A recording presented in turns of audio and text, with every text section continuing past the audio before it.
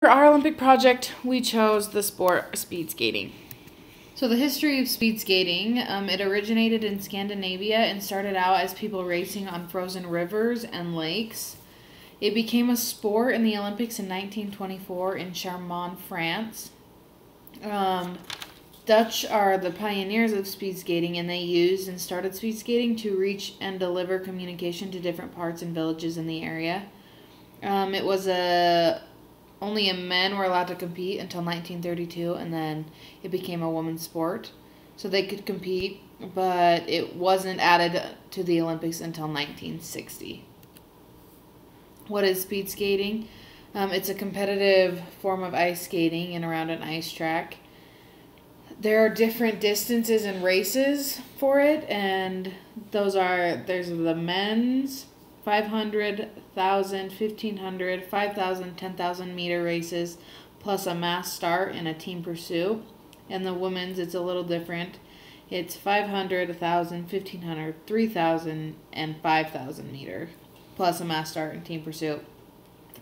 Um, there's different types of speed skating, and they have a long track, a short track, a marathon, and a marathon track speed. Um, speed track, and so the in the Olympics, the long track is known as just speed skating, so that's what we're focusing on. So the rules of speed skating, there's kind of a lot and it's kind of complicated. But for the officials, they have a referee and assistant referee. They have two starting line judges. They have a finishing line judge, a chief and an assistant chief timekeeper. Um, and they have multiple track judges. They have two judges on the corners. They have one on the finishing straight, one on the crossing. Con- one is a crossing controller, and then they also have ice experts and sport experts on the site too. And then for timing, they have two different things for timing. They have one automatic and one's manual. The automatic is the one that we see when we watch it on TV, and then they have a manual person who's keeping the time just in case there's a technical difficulty or a glitch in the time. They always have a backup. Um, for the draw, this is just to decide who goes first, and they take everyone who's in that heat and they have a meeting, and then they base off who's going first off of the rankings of previous races that the skaters have done. Um, for the start, you cannot go to the line or start without a signal, or it constitutes as a false start. And then the crossover rule, you have to have one lane change each lap, and this is because the inside lane is a shorter distance than the outside lane. Um, the lane change takes place at the crossing straight, and then the person who is changing from the outer lane to the inner lane gets the right of way. So if there's any collisions, um, then the person penalized is the person who was in the inside lane of the track. And then a skater can be disqualified for cutting lanes or leaving the inner curve at any point in the race. So, for one of our concepts, um, we picked building momentum. And we know momentum is the quantity of motion of a moving body measured as a product of its mass and velocity. So, um, they start out in like a fast running um, with their legs and feet externally rotate as they push off the ice. They're pushing off obliquely. Um, and while they're doing that, they're swinging their arms backward and to the side. They're not swinging it back and forth or back and forward. It's just back and to the side. So that helps them um, keep their body straight because if they didn't, their body would turn um, because of how they're pushing off the ice. And also, it helps them get faster. Um, and then once they get to where they are fast enough, they start skating and they put their arms behind their back because that also helps them propel them forward with their with the momentum. Um, our second concept was friction, and friction is the resistance that one surface or an object encounters when moving over another. Um, we talked about this in class about how you want different um, car wheels for different roads, I guess. And this is just the same as for skates and ice.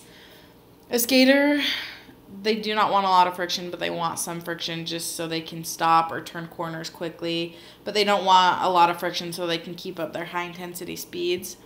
And um, they do this with two different things. They have different types of skates. As you can see, the pictures are different. And the top one is a clap skate, which means the hill is not connected to the blade. And the blade for speed skating has no curve, and this is different from short track or figure skating or hockey. Even these skates and blades are different. And this just helps so they can dig into the ice and stop and speed up and help them turn. But the clap skates, they help when the foot lifts up off the ice, the blade disconnects with the skate, leaving the blade on the ice a little longer just to help increase the push power. So this is also how they manipulate the friction just to keep going. And then they also um, do it by manipulating the ice and they put a thin film of liquid water on the ice. And when the thin film of water is connected with the blade, there is a result of low friction. So helps the skaters keep high speeds. And for the center of mass, this is our third concept.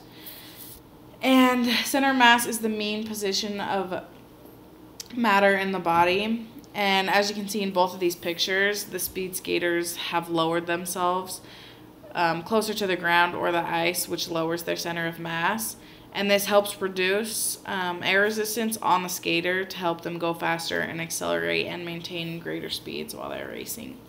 Um, lowering the center of mass helps with balance, and because they have so much force pressing against them, if they didn't lower their body or crouch low to keep their center of mass low, then the momentum would just fall, have them fall backwards. So by them crouching and keeping their center of mass low, um, it helps them create a counter movement so that they won't fall for backward and they will just continue to go forward and keep the speeds up.